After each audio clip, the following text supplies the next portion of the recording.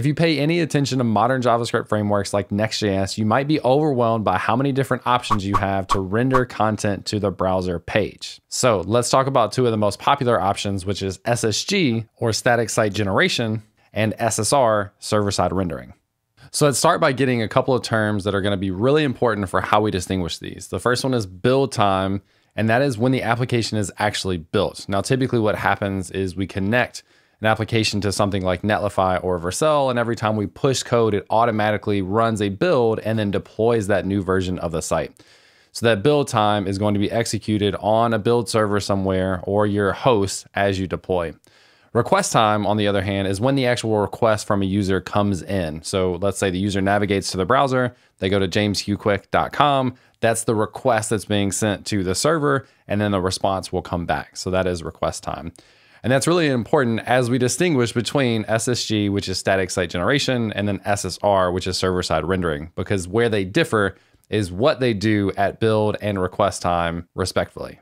So let's move on down and start to break into what static site generation is. Now, the majority of the important parts of static site generation happen at build time. So we mentioned we might deploy an application to Netlify or Vercel. These are two of kind of the de facto way to deploy many of the sites that we create these days. And so on Netlify or Vercel, we have a build server. And this is where it runs the actual build of our site. Now, with a statically generated site or with statically generated pages, the outcome of that build is exclusively static files like the index.html, the blog.html, and then you may get down into nested routes or dynamic routes where you have blog slash blog one, blog two, etc. So the important part about this is statically generated pages at build time are going to already calculate or create those pages, and the outcome of that is going to be hosted on a CDN. CDN is a content delivery network. Netlify and Vercel take care of all this for you. And what that means is those files are going to be replicated all across the world. And what's cool about this is because they're replicated all across the world, wherever the user is making the request from, it's going to grab the file that's closest to them. So let's say I'm in the US, it'll grab a file that's in US East, probably in Virginia, in a CDN there. If I'm in Japan, it's going to make the request to the local data center that has a CDN there in Japan or nearby. So that means that these pages are going to be already calculated. They're going to be they're going to be replicated on a CDN and they'll be sent down directly to the user, which should improve performance and make those pretty quick. That's a lot of the benefits that came with static site gener- static site generators and what people have really enjoyed about them. But static site generation has kind of led to some limitations that has brought us back to the idea of server side rendering. So before we get into that really quickly, we can uh, address the request time. So we talked about build time where we build these individual pages. Like we just said, as the request from the browser comes in, it's going to hit the CDN, it's going to grab the appropriate static file, and it's going to send that thing back directly, which should make this a really fast process. So let's get into SSR, which is server side rendering. And at build time, if you're just doing server side rendering, basically what this does is it will create the server. And really what this does is it converts converts server side code to the host platform. I don't know if all of that made it on there. And Let's move this over. So a lot of what these frameworks do is allow you to write server-side code in a way that you're not creating a full entire node server. So a lot of it is with page-based routing or file-based routing where you drop in stuff into a file and the framework already knows how to handle that as server-side code. What you may not think about though is that has to be translated to something that the host provider can understand. So in the Netlify and Vercel use case, these are serverless functions. They may be edge functions on Vercel depending on or Netlify depending on how you have it configured. But at build time, the framework is going to go and take the source code and translate that to a way that's going to be able to be hosted as server side code on the hosting provider. Netlify, Vercel, Heroku, Fly.io, whatever you want to do, it's going to make that translation to make this thing hostable on that uh, hosting platform. Now, the really important thing here is request time. Let's make this a little bit smaller.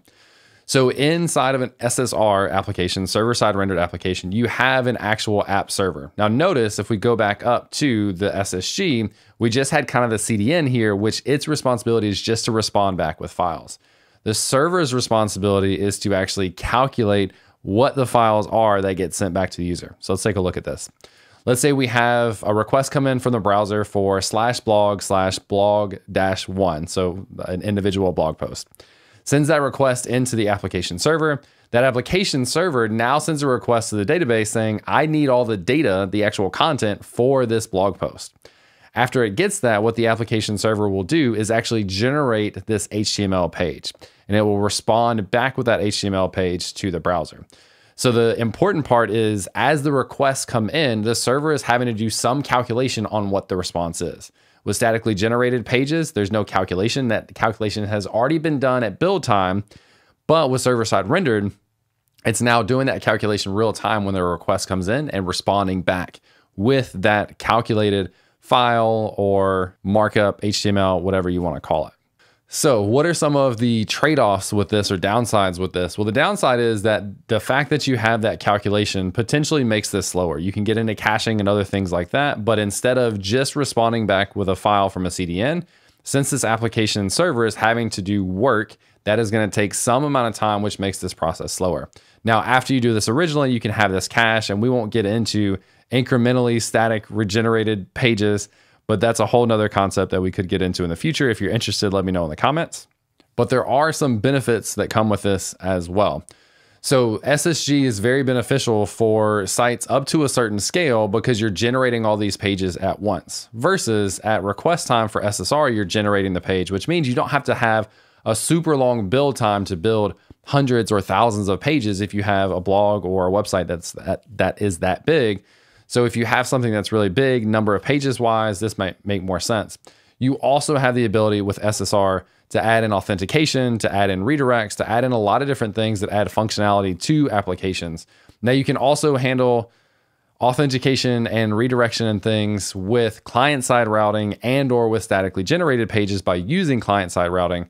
But in my case, I prefer to handle authentication on the server, which means I don't have to choose loading states on the front end. I don't have to choose conditionally which pieces of information to display on the application side. I can do that on the server side before that content is already sent down to the user.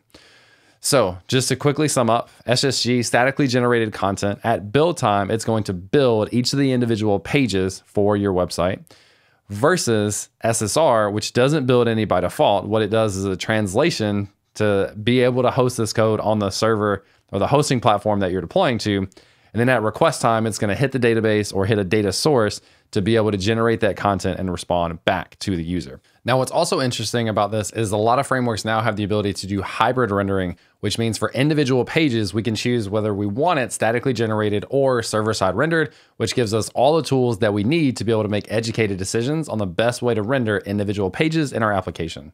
So that's SSG versus SSR. If you have any additional questions, let me know in the comments below. I also want to share if you are interested in learning more about SSG and SSR in my Astro course, which I just released about a month ago. We have two different sections. One is SSG focused, and one is then converting to SSR and talking about all the things that we just talked about in deeper uh, scale, and then also implementing things like authentication and some other cool features around this. So if you're interested in learning more about that and one of my favorite frameworks, which is Astro, you can check it out at astrocourse.dev. Anyways, if you have more questions about SSG, SSR, let me know in the comments below. Be happy to help answer those. If you have ideas for additional content that you'd like to see in the future, let me know that as well. Thanks for checking out the video, and I'll catch you next time.